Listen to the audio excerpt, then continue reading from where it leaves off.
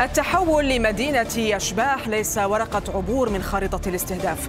بلدات لبنانية جنوبية خلت إلا من الدمار. مثل عيت الشعب لا تزال محور المواجهات هناك.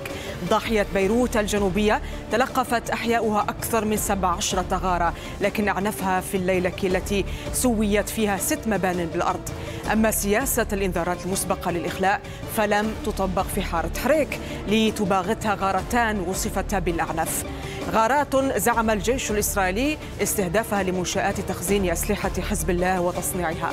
هذا ويستمر مسلسل المسيرات المتنقلة عشوائيا. آخر حلقاته استهداف سيارة على طريق الكحالة في جبل لبنان أدت لمقتل شخصين. مزيج من الوميض الأبيض القاتل وحرائق أشعلتها الغارات. جزء من مشهد عاشته مناطق جنوب لبنان الحدودية في الساعات الأخيرة. فالقصف الإسرائيلي بالقنابل الفسفورية خلف سيارات محترقة ودمار هائل فيما البالونات الحرارية ألقيت فوق مناطق سور والناقورة. وفي الجنوب اللبناني أيضا سجل الجيش اللبناني ثاني استهداف قاتل عناصره خلال أربعة أيام فقط.